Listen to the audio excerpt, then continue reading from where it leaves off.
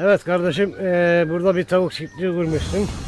Gördüğümüz kadarıyla. Küçük de olsa Eee, kendi küçük, çapımızda ol, küçük de olsa dediğin gibi bir girişim olmuş. Güzel olmuş aslında. Eee, tamamen doğal. Eee, Tavukla satıyor musun yoksa tavuk satıyorum, horoz, Sadece et, yumurta et mı? olarak, yumurta olarak. Çünkü kendim kuluçka makinesi yapıyorum. Kendi tavuklarım yumurtalarından. Civcivlerimi de kendim üretiyorum. Hazır civciv alma da yok bizde. Tamamen kendi tavuklarımızdan hepsi. Tamamen kendi kontrolümde, kendi Aynen, kendi üretimim diyorsun. kontrolümde. Doğal. İlaçlarını da kendim doğal soğandan, sirkeden, işte sarımsaktan bu şekilde yapıyorum. Bizde kesinlikle dışarıdan bir şey yok. Hepsi doğal. Peki bu eee hayvanlarda özellikle tavuklarda bildiğim kadarıyla tavuk bit oluyor. Bunları önlemenin bir kolayı var mı? Biz de öğrenebilir miyiz? önlemenin e, bir kolayı 10 günde bir ilaçlama yapıyorum. Yani Evet, kümes, ilaçlama. kümeste kesinlikle 10 günde bir ilaçlama yapmazsam tavuk biti olur. Olur değil mi? O da hayvanlara çok büyük zarar veriyor. O yüzden 10 günde bir ilaçlama yapıyorum. Şimdi yumurtayı e, alıyorsunuz. Bayağı bir görüntü itibariyle zaten belli oluyor köy yumurtası olduğu. E, nerelere satıyorsunuz? Hazır müşteriniz var mı Hazır yoksa müşterilerim var. Evet. Hazır müşterilerim var. Zaten onlar e, onlar kendileri geliyor Tabii, buradan tabii, alıyorlar değil mi? Buraya geliyor. Kendim götürüyorum. Anladım. Erbaa'da zaten müşterilerimin çoğu. Peki bu işi e, geliştirmeyi düşünüyor musun? Nasıl? Biraz daha ileride neden olmasın bakalım. daha modern tesislerde olabilir aslında veya daha geniş alanda. Neden olmasın? E, tavuklarımızın e, cinsi hakkında bir fikir verebilir misin? Bir şey söyleyebilir misin? Cinsi e, biraz şey gelecek ama şu gördüğümüz siyahların cinsi bunlar Atax diye geçiyor. Atax. evet. Şu gördüğümüz e, benekli olanlar Plymouth diye geçiyor. Sarı olanlar Lohman Brown diye geçiyor. Tabii bunları ben kendim burada yeti- ürettiğim için yani köy tavuğuna döndü artık bunlar. Evet. Şu beyazlar zaten köy tavuğu, hakiki köy tavukları onlar burada. Ama zaten e, zamanla kırılıyor. Orijinal şey değil, tam köy tavuğuna dönüyorlar. Evet. Tokat tavuğu denilen bir e, paçalı tavuk var. Var mı senin elinde ondan? Tokat Herhalde tavuğu göremedim denilen ama. paçalı tavuklara değil, onlar Brahma deniyor paçalılara. Evet. Tokat tavuğu denilenler hindiye benzeyen e, daha küçük bir tavuk ırkı. Onlar yok bende Peki. aslında. Onlardan da getireceğim nasipse. Onlardan da düşündüm. Evet.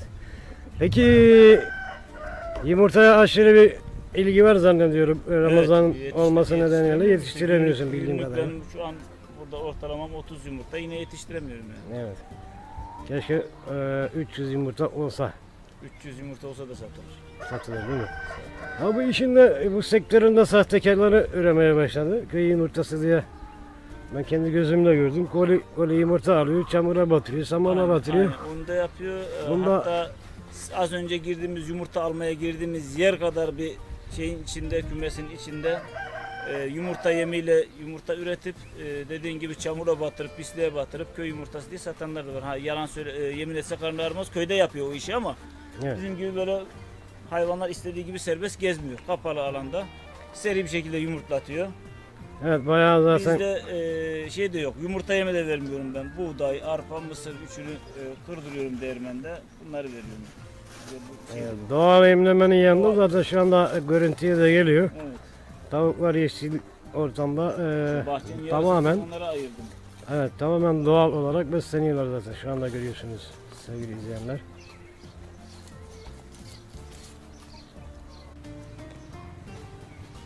Peki Kerim kardeşim e, böyle bir girişimde bulunmak nereden aklına geldi?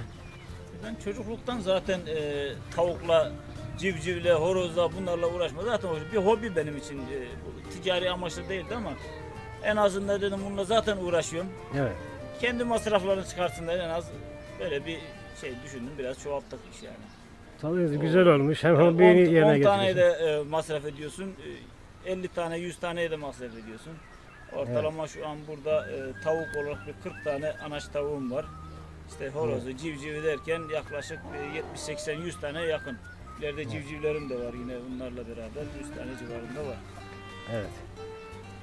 Kuluçka makinesinde mi geliştiriyorsun civcivleri yoksa e, tamamen kendi ortamında mı Şimdi az üretiyorsun? önce birazdan e, diğerlerini göstereyim. Yine tavukların, grup olan tavuklardan da var. Onlara da koyduğum yumurtalarım da var. Evet. E, kendim e, kuluçka makinesi yapıyorum. Eğer grup o anda yoksa yine buradan tavuklarımın yumurtalarından Bu az önceki çekmiş olduğumuz civcivler kendi maki- yaptığım makineden çıkanlar yani. Evet. Sonuçta aynı doğal civciv oluyor o da. Yani çünkü köy tavuklarının yumurtalarından oluşuyor. Evet. Ama e, iki tane de kurkum var az önce ön tarafta şimdi. Birazdan onları da çekeriz. Onları da görürüz Evet, inşallah. küçük Civcivleri var onların da. Peki o zaman e, bir soru daha soracağım. E, yavaş yavaş o bölüme doğru geçeriz. E, devletin e, bu konuda verdiği teşvikler var. Bunlardan yararlanmayı düşünüyor musun peki? İleriki dönemlerde mi? İleriki dönemlerde belki artık emekli olursak mı diyeyim veya İnşallah. gün tamamlarsak mı diyeyim. Nasip de varsa olur. E, e, devletin teşviğinden yararlanmak için bayağı büyük bir yer yapmak gerekiyor. En az bir Evet. bin tavukluk bir yer yapmak gerekiyor ki değsin. Evet. evet. Yani bizim gibi hobiciler için gerek yok öyle bir şey. Yani. Şimdilik ralantide gidelim ileride düşünürüz Evet, evet. Şimdi en azından Talebe tecrü- tecrübe edinmiş oluruz Evet. bu konularda. Hem talebi görmüş olursun. Tabii talebi görmüş oluruz. ihtiyaç hasıl olursa da Aynen. yöneliriz. Evet, evet. Peki o zaman geçelim biz o tarafa. E, hep birlikte o civcivleri de bir görüntüleyelim.